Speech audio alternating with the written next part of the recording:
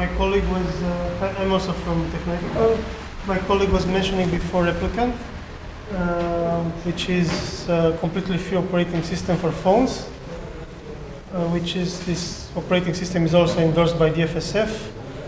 Um, and what's uh, actually this operating system uh, is about? Um, it's actually based on Android and other like forks of the uh,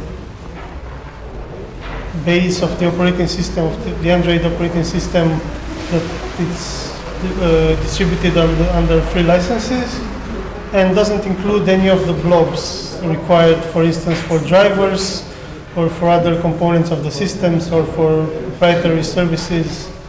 Um, so, uh, because of these things, that it requires um, certain licenses for the drivers, only a few devices are available. Uh, well, only a few modern devices are available. There are some more devices available, but some more, some older ones.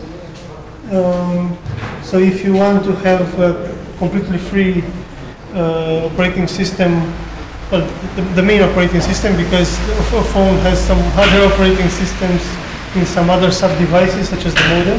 So if you have, if you want to have uh, a completely main operating, a completely free main operating system on your phone, you should have one of the compatible phones. There is a list of compatible phones on replicant.us. Um, one of the compatible phone is the, the phone I have. It's a Galaxy S3. This one, and actually i9300 model because there are some more versions of the S3 with different hardware inside, and there are also some tablets that are compatible. So this is the complete list. Um, except for like um, well, compared to installing an operating system on a, uh desktop or a laptop, uh, it's a bit more difficult. It's not very simple to do it like you would do with uh, like plugging the in USB stick or installing a uh, DVD uh, or inserting a DVD. Uh, but there are quite so there are a lot of people actually that have modified their operating system or installed what is uh, commonly known as uh, custom ROM or something. Uh, so if you know how to do this, then installing replicant is the same. Uh, bit, and it's quite uh, well explained on the website. Uh, what you need to do is to to download uh, two files.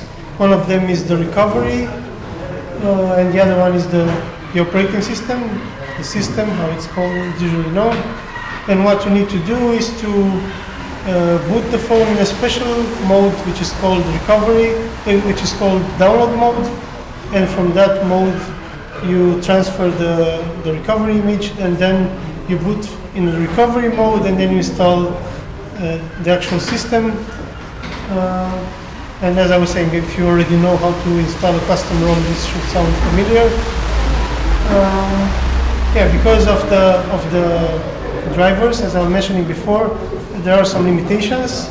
So, because there are no free firmware, uh, there are no free drivers and with firmware for Wi-Fi, GPS, and for Bluetooth. For the chips inside phones, it- there's no way you can use them with a completely free system, so they don't work. Yeah. The the um, the network works, but as I was saying, the modem has a proprietary software on it.